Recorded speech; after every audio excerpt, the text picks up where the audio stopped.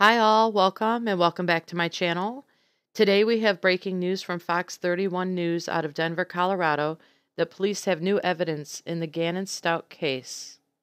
Gannon Stauch is an 11 year old boy who went missing from Colorado Springs, Colorado last Monday, January 27th. He was last seen by his stepmother at his home on the day of his disappearance. Search parties have been searching the area for Gannon all weekend but we have not received any updated information until today. According to news reports today, police have received a new piece of evidence to further the investigation into Gannon's whereabouts. They say the evidence came from a neighbor's security camera, but that they have been asked by the police not to release it just yet in order to not compromise anything in the search for Gannon. A concerned neighbor who lives a few doors down from Gannon's home decided to do some investigating into the case he said he was unable to sleep one night and decided to go through surveillance footage. He must be referring to the surveillance footage on his home security cameras, but it's not stated in the report. Anyway, he found something. He cannot reveal what he saw just yet, but he saw something. He said he was watching on his tablet and then decided to watch on his TV just to be sure.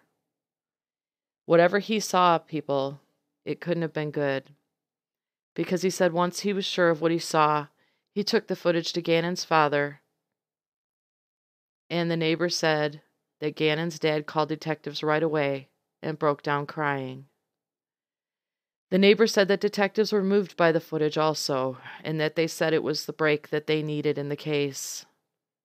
Thank God he did that. Fox 31 says that they will release the footage as soon as the detectives say it's okay to do so. I got the chills when I heard this. It can't be good. I sincerely hope it doesn't mean that Gannon's not going to be found safe, but the father's reaction doesn't sound good to me.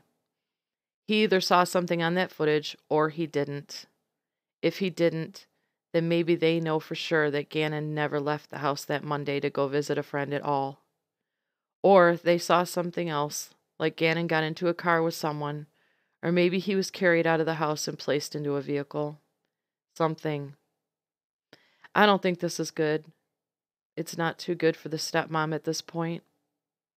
I could be very wrong, but they saw something on that footage. Either that or they didn't see anything, and Gannon never left his home. The news report also says that the search is being centered around Gannon's home and that investigators have been seen leaving with evidence bags. I wonder if there are areas of the house that went unchecked like the attic and maybe a crawl space, but this doesn't look good. All we can do now is wait to see what the detectives, or when the detectives allow this news to show the footage so we can see for ourselves. In the meantime, this poor boy's life may still be in danger. Please join me in praying for his safe return and that we don't get a bad ending in this one. This is so heartbreaking.